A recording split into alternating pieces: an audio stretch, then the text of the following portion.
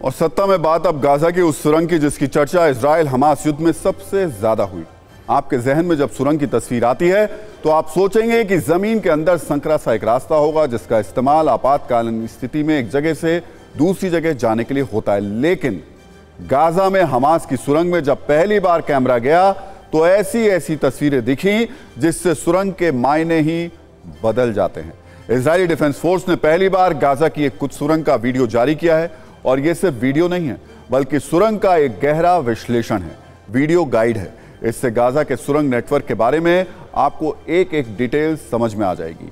यह video Gaza के अल रंतिसी अस्पताल के नीचे बनी सुरंग का है, जहाँ इलेक्ट्रिक रूम के पास एक छोटा सा पाइप है और उसके बगल में एक मेन हॉल है। लेकिन इस मेन हॉल से अंदर जाने के लिए आप अलग ही दुनिया में उसके बाद प्रवेश कर जाते हैं। सुरंग के अंदर सोफा लगा हुआ है, कमरे बने हुए हैं, कमरे में कई लैपटॉप रखे हुए हैं अलग अलग तरीके के हथियार रखे हुए हैं। सुरंग में एक जगह से दूसरी जगह जाने के लिए बाइक है, इलेक्ट्रिक वायरिंग है, सोलर पैनल है बड़ी बड़ी पाइप फिटिंग्स हैं, मीटिंग रूम है, जिसमें बैठकों के लिए गद्देदार सोफे लगे हुए हैं और दीवार पर विस्तृत रूप से प्लान भी लिखा हुआ है। यह सुरंग कम और किसी का कार्यालय ज़्यादा लग रहा है। जो वीडियो जारी किया गया है, उसे देखने के बाद यह बड़ा अपार्टमेंट जैसा दिखाई देता है, जहाँ आराम से आठ से दस लोग रह सकते हैं। इजरायली डिफेंस फोर्स का दावा है कि यह सुरंग गाजा के अल रंतिसी अस्पताल के कैंपस में ज़मीन से करीब 20 फीट नीचे है। इसे हमास के लड़ाके, हथियारों के भंडार और कमांड सेंटर के तौर पर इस्तेमाल करते थे। आईडीएफ का दावा है कि इस सुरंग वाले कमांड सेंटर से अत्याधुनिक हथियार, भारी मात्रा में गोला बारूद और आईडीएफ पर हमले से जुड़े दस्तावेज़ मिले हैं। सुरंग में बुलेट प्रूफ दरवाजे बंधकों को रखने की जगह, बाहर निकालने के लिए रास्ते और इसराइल पर हमला करने के लिए सुरक्षित पोजीशंस भी हैं। आईडीएफ का यह भी दावा है कि अल रंतिसी अस्पताल के नीचे मिले सुरंग का इस्तेमाल बंधकों को रखने के लिए किया जा रहा था। आप सुरंग का वो वीडियो देखिए, फिर आपको बताते हैं कि ऐसी ऐसी सुरंगों पर कब्जा करके इसराइल को युद्ध जीतने में कितनी मदद मिल सकती है।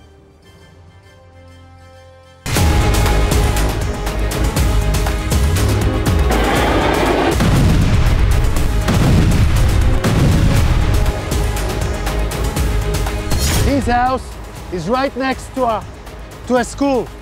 His house is 200 yards from the hospital, the hospital of Rantisi.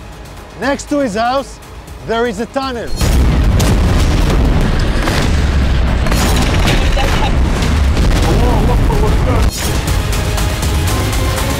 Now I want to show you an operational tunnel. The tunnel is built with electricity.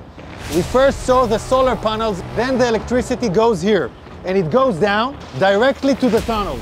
Now you can see the tunnel. You can see the tunnel. The tunnel is let down more than 20 meters down. The rowboat found a door, a door that is bulletproof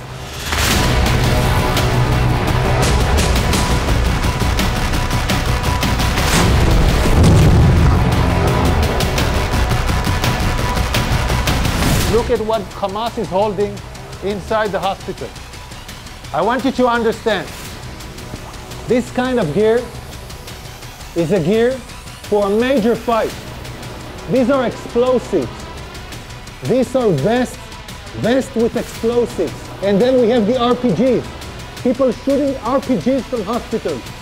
This is Hamas, firing RPGs from hospitals.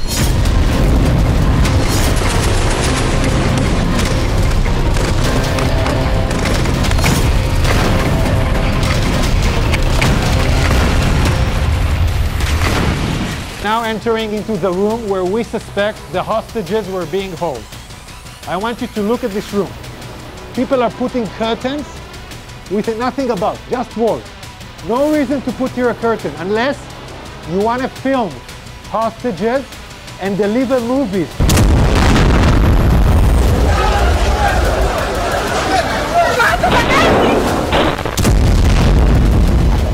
This list says we are in an operation. The operation against Israel started in the 7th of October. This is a Guardian list where every terrorist writes his name and every terrorist has his own sheet.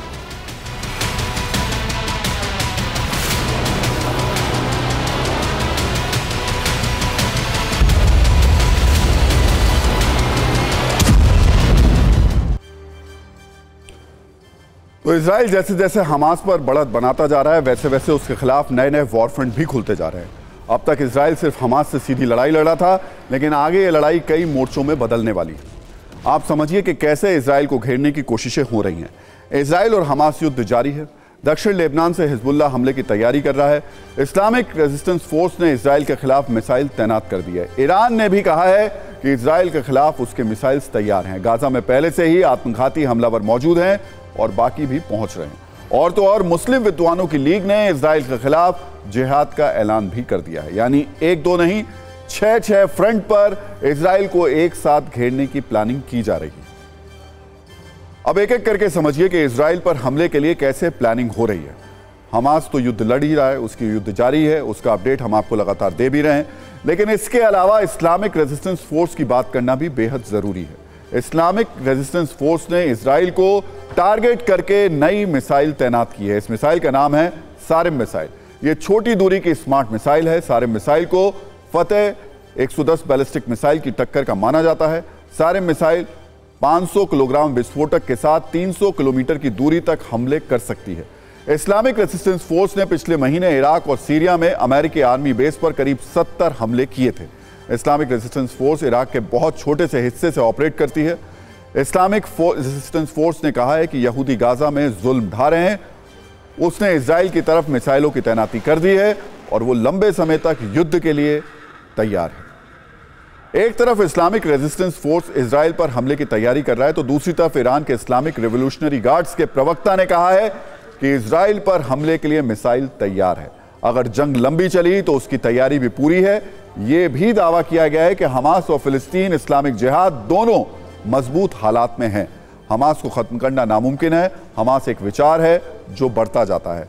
सिर्फ़ यही दो front नहीं है Hezbollah रुक रुक कर Israel पर हमले कर रहा है, लेकिन इन सबसे अलग तरीके का हमला इस्लामिक विद्वानों की तरफ़ से हो रहा है।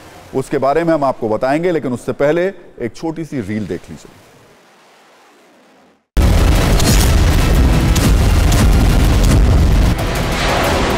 आज की तारीख में पूरी दुनिया को यह बात तो पता चल गई है कि इसराइल और गाजा पट्टी के बीच में युद्ध हो रहा है।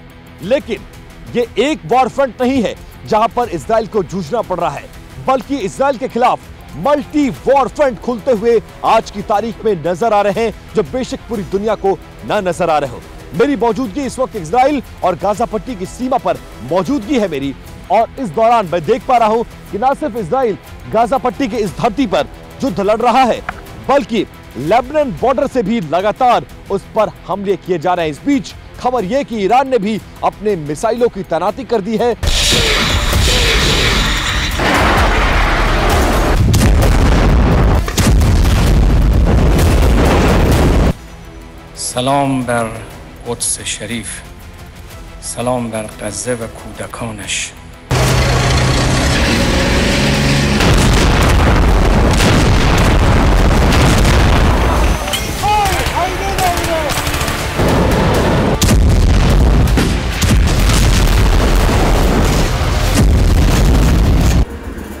इसराइल तो बिल्कुल सक्षम है लेबनान में हिजबुल्ला और हमस को हराने के लिए और सीरिया में भी जो ताकतें हैं जो ईरान के समर्थक हैं उनको भी वो हरा सकते हैं लेकिन ईरान का ईरान के युद्ध में आने से थोड़ा ईरान इसराइल को उससे काफ़ी फ़र्क पड़ेगा